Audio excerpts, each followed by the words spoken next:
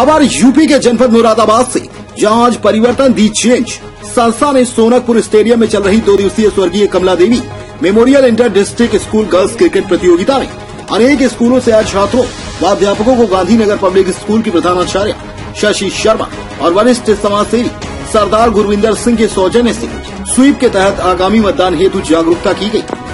तो वहीं सभी को भविष्य में शत प्रतिशत मतदान करने व करवाने के लिए शपथ भी दिलाई गई। यह अभियान स्वीप अभियान के अंतर्गत चलाया गया, जो कि भारत सरकार के भारत निर्वाचन आयोग की एक पहल इस जागरूकता अभियान का उद्देश्य युवाओं को उनके मत के अधिकार के प्रति व आगामी मतदान में शत प्रतिशत मतदान करवाने के लिए जागरूक करना था।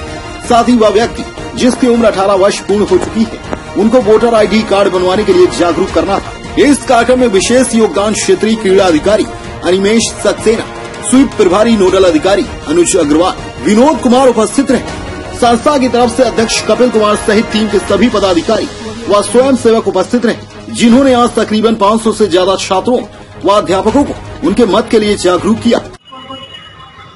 आज परिवर्तन चेंज एनजीओ की तरफ़ से नेताजी सुभाष चंद्र बोस स्टेडियम में स्वीप कार्यक्रम जो हमारा इलेक्शन कमीशन ऑफ़ इंडिया की तरफ़ से चल रहा है, इसमें एक मतदाता जागरूकता अभियान का आयोजन किया गया। यहाँ एक दो दिवसीय क्रिकेट टूर्नामेंट भी चल रहा है, गांधीनगर पब्लिक स्कूल की तरफ़ से। जिसमें सभी स्कूलों की गर्ल्स जो हैं वो पार्टिसिपेट कर रही हैं। तो इसी कार्यक्रम में हम लोगों ने एक शपथ भी दिलाई जिसमें कोई भी मतदाता पीछे ना छूटे और हमें कैसे लोकतंत्र में अपनी भूमिका निभा सकते हैं मतदान कर कर। तो ये सब चीज़ों को लेकर के आज ये कार्यक्रम का आयोजन किया गया। विभिन्न स्कूलों के बच्चों ने इसमें प्रतिभाग किया। साथ में हमारे साथ में श्री अनुज अग्रवाल जी भी रहे, डॉक्टर अनुज अग्रवाल जी, जो स्वीप के नोडल ऑफिसर हैं। सरदार गुरविंदर सिंह जी आरएसडी स्कूल से हमारी G Kumar ma'am, Vinod Kumar sir GNPS के प्रिंसिपल शशि मैम और सभी स्कूलों के प्रधानाचार्य, यहाँ की स्थानीय पार्षद अर्चना शर्मा जी, जो कि एस एस चिल्ड्रन अकेडमी की टीचर भी हैं। तो सभी लोगों का बहुत अच्छा सहयोग रहा और एक सफल कार्यक्रम हम लोगों ने आज किया।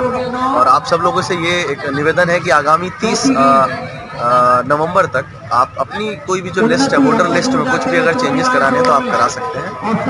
निकट के अपने स्थानीय बूथ पर या फिर वहाँ के हमारे इलेक्शन कमीशन का ऑफ़िस पर। बहुत बहुत धन्यवाद।